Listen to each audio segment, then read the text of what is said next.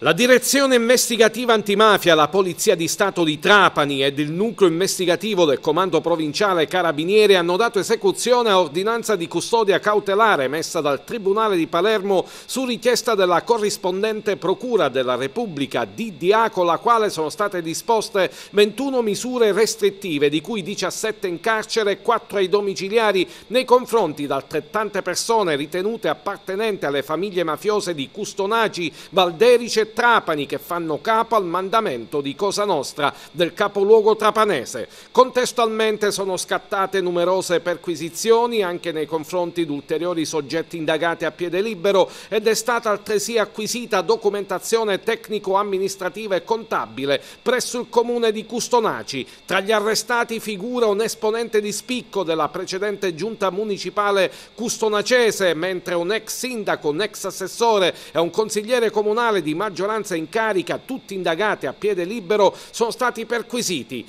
L'operazione congiunta denominata Scialandro, durata due anni, cui hanno lavorato la Dia di Palermo e Trapani, la squadra mobile della Questura di Trapani e il nucleo investigativo di Trapani dell'Arma dei Carabinieri, ha permesso di raccogliere gravi indizi di colpevolezza per reati di natura associativa, di stampo mafioso o comunque per delitti connotati dall'aggravante mafiosa. Nello specifico le indagini hanno portato alla luce sinergie e rapporti opachi tra esponenti della vecchia amministrazione comunale di Custonaci e le citate consorterie mafiose grazie ai quali queste ultime riuscivano ad imporre all'ente locale i nominativi dei beneficiari di contributi solidaristici per far fronte alle condizioni di disagio economico post-pandemico, nonché a pilotare l'affidamento di appalti pubblici in favore di ditte colluse o a loro riconducibili anche per per interposta persona, una delle quali aveva proceduto all'assunzione fittizia